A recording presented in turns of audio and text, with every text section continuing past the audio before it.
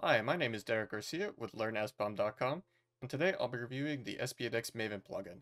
This is a simple plugin which allows for the creation of SPDX SBOMs from the dependencies listed in the pom.xml files when building Maven projects.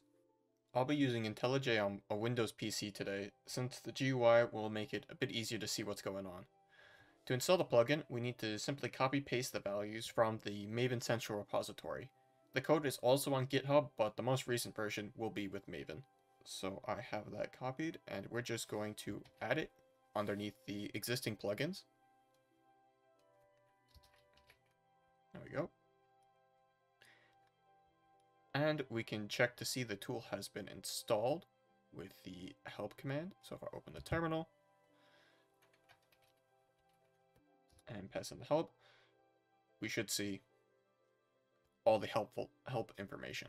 Besides the help command, the only other option is to generate an SPDX SBOM with the generate command, which is as follows. Just maven create SPDX, and after a moment, the tool will build and we'll get an SPDX SBOM. It'll take a moment, but by default, it will be placed under the target slash sites folder. And we can see our target file here.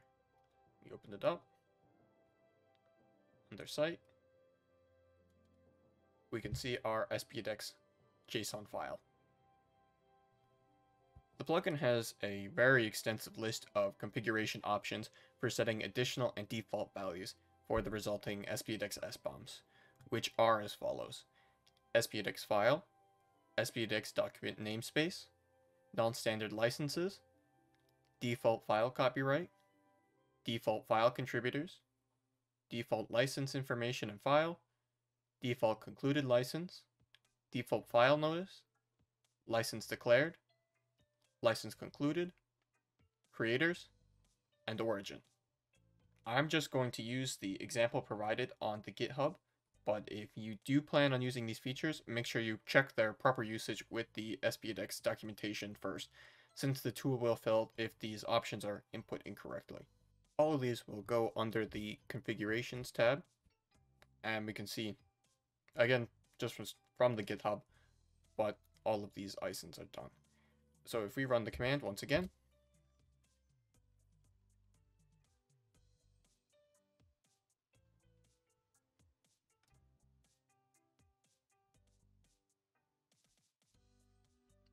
Alright, this time we'll see that instead of the default target site folder, like our first one here, we have our license.spdx, which we can see was set with the spdx file.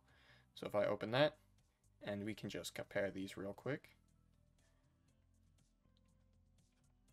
We can see there's a lot additional information. So the one on the left will have information about the creators, more additional default information. Uh, this is the specific license text as opposed to where the one on the right doesn't have as much details. So it's an additional way to, to cover your bases if you want to add licenses for your organization. SPDX Maven plugin is a short and simple tool that greatly improves your workflow. The large range of options allows you to specifically tailor the tool to fit the needs of your project, and it's great for those who prefer working with SPDX style SBOMs. Thank you for watching.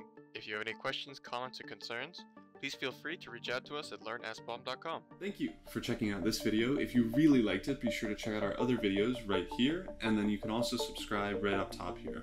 And again, thank you. Bye-bye.